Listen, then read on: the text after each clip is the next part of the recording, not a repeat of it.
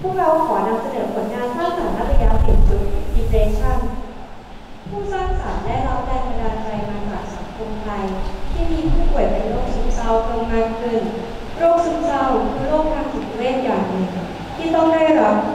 การรักษาอย่างถูกวิธี หากปล่อยไว้ระยะนานจะเป็นอันตรายต่อผู้ป่วย โรคซึมเศร้าภัยเงียบที่อันตรายและทุกคนมักมองข้ามสามารถพบในผู้หญิงมากกว่าผู้ชาย แต่เพราะว่าผู้ชายนั้นฆ่าตัวตายสำเร็จมากกว่าผู้หญิงผู้สร้างสรรค์จึงนำแรงบันดาลใจนี้มาสร้างสรรค์เป็นผลงานทางด้านนาฏยศิลป์ชุด Depression เพื่อตระหนักถึงอาการและของโรคซึมเศร้า โดยถ่ายทอดอาการแสดงผ่านลีลาการเต้นร่วมสมัยและการสื่อสารอารมณ์ของนักแสดง Depression. The, the is inspiration of depression performance from Thai society that have increased amount of depression creation.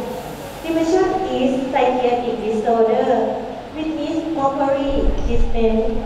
Even of depression can be in more than men, but men can proceed sunset to attempt Afusa more than women. The creator took inspiration to create the show to reflect the syndrome and the harm of depression represented by contemporary dance and emotional of dancer. ขอเชิญรับชมค่ะ